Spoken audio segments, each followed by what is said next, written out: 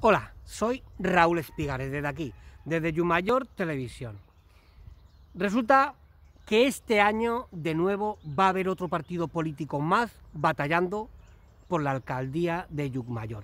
Es un partido que lleva muchos años y es un partido que últimamente ha salido mucho en el periódico, a nivel local y también está dando mucho que hablar a nivel nacional.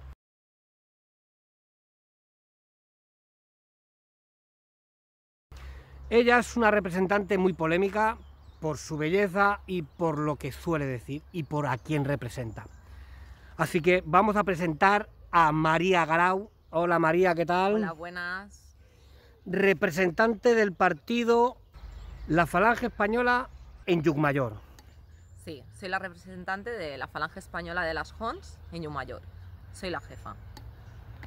Vale, ¿cómo una mujer tan joven como tú ha decidido coger el camino de dirigir un partido tan polémico y con tantos años a sus espaldas? Pues para mí es un partido que lleva 87 años con los mismos ideales, defendiendo al pueblo, y eso es lo que quiero hacer, defender el pueblo.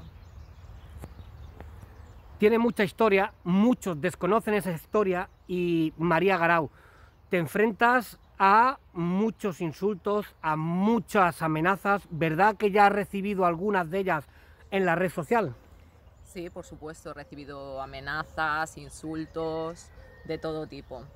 Con lo cual, lo que me gustaría es que la gente antes de hablar se informara bien y no escucharan a lo que nos han dicho toda la vida, porque no es así. Lo que necesitamos es que la gente tenga un poquito más de respeto y sentido común a la hora de hablar.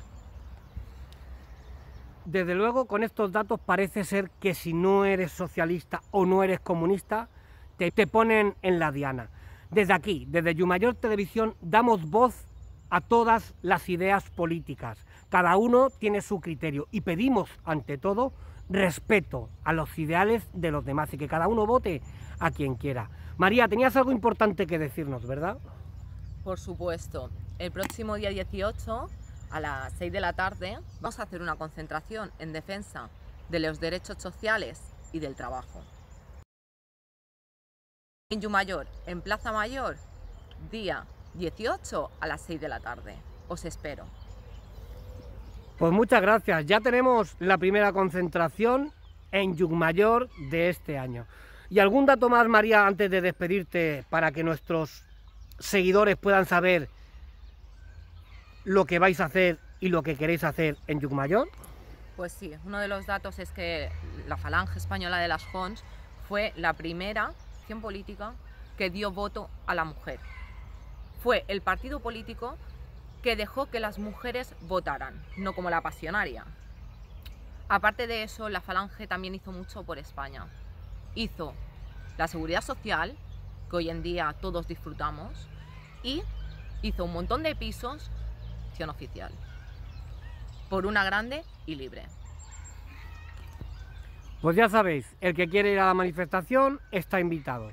Nuevo partido en las próximas elecciones en Yucmayor.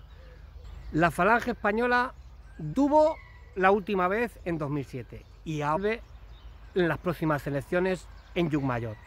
Así que suerte a todos y que, y que mejor. Muchas aquí, desde Yumayor Televisión, Damos información y por favor, ante todo, pedimos respeto y sentido común.